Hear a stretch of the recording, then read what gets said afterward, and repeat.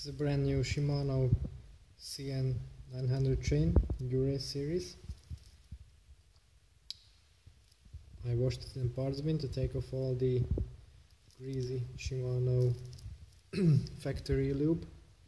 That's completely disgusting, very slow and very dirty. So now we have a completely clean grease chain. Now I'm going to dry it some compressed air and then I will apply some squirt lube thoroughly. The chain is now completely dry and spotless, no oil whatsoever. Now I'm going to relube it using squirt dry box. For the next step I've taken the chain, put it in a sealable plastic bag. Here's my squirt lube, which I'm going to pour into the plastic bag. Then heat, heat the chain up in the plastic bag so the lube gets completely saturated into the chain.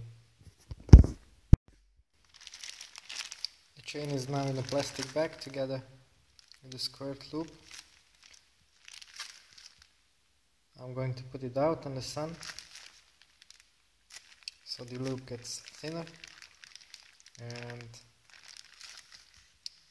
more of it gets into the chain and leave it for some time. I have left the chain outside on the sun so it's nice and warm and absorbs all the all the lube it can get. Now I'm going to remove the excess with this rag and mount the chain To connect the chain I'm going to use SRAM 11 speed power link this makes removing it for cleaning much easier and also ma makes this whole process possible. Shimano says that it shouldn't be used but I've been working with it for quite some time. I've got it on all my bikes. It works perfectly